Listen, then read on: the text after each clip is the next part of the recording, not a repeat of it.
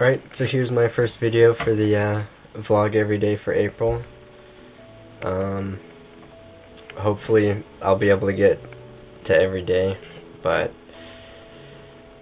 uh, so far it's highly unlikely because I always say I'm going to do a video soon and then three or four months later I'll produce that video.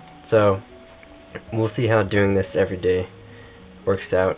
Noticed that a lot of people on YouTube have started getting into a site called Daily Booth, where you take a picture of yourself uh, once every day, and I don't know if it's, I don't know what it is exactly, but uh, for me, I use a different site called uh, Flickaday. I remember seeing it appear on G4 Tech TV a while ago, a few years ago actually and uh, so that's that's the site that I use. Um, I explored the Daily Booth site a little bit, but I prefer the Flickaday site. Um, I've been using the Flickaday site for for a little while now, so I don't really feel like I'm going to be switching over to Daily Booth anyway. Um, so any of you who don't really like the uh, Daily Booth or are looking for something else, uh, the Flickaday site is pretty good. Um, other than that, I don't really know what else to talk about for today. Um, I just got off work.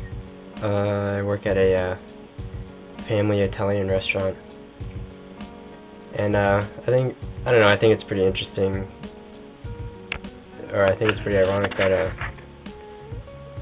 for Wallofweird's um, first vlog, she talked about uh,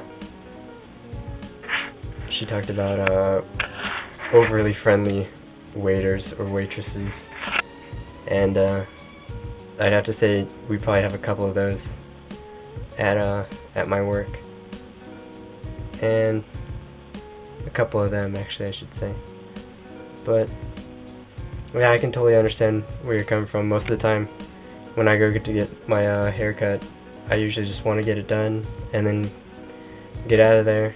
But I don't know. You always get sucked into some kind of conversation. Um, other than that, I guess that's it for today. Really short. Maybe I'll make some longer ones later on. Um, I'll catch you guys later.